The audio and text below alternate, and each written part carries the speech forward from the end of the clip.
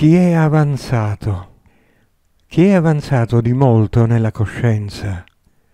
Commento. Il santo, l'evoluto, il superuomo, che significa non più uomo e non uomo che ne vale due, hanno discoperto un'ampia consapevolezza nel piano della coscienza.